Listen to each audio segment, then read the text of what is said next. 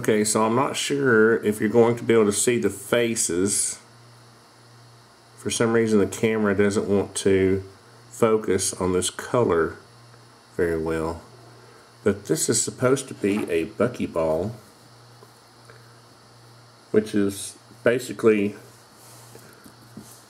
a geodesic dome or a geodesic shape.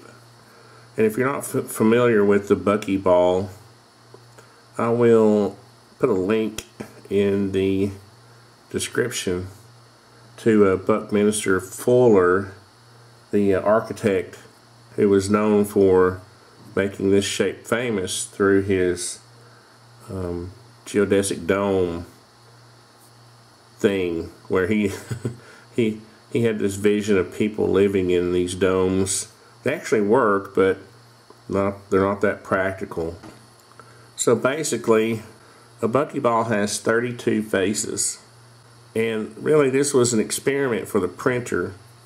I was trying to print some buckshot or bucky shot for Jeff Tao Fledermaus to shoot out of his 12 gauge.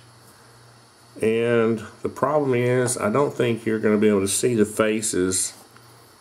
There are some small faces on this buckyball and I've renamed it Bucky Shot because Jeff is going to shoot it out of his shotgun along with this big honker.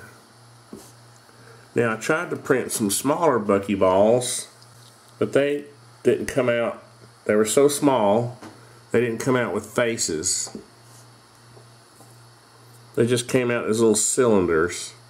So part of this is you know for fun the other experiment is to see how small of a shape can you print and still have detail.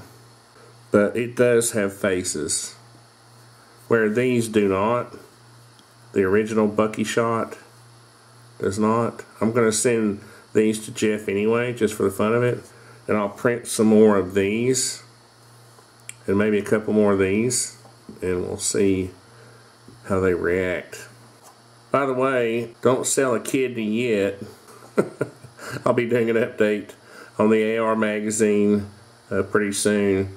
But I've, I've got to, got I've got some work to do on this one, and uh, I've got to print the spring and all that. And right now, it seems like there are still kinks and bugs to work out in the printing because, and and I didn't design this magazine; someone else did but it apparently it appears that they did not allow enough room for the round to actually fit in inside the magazine.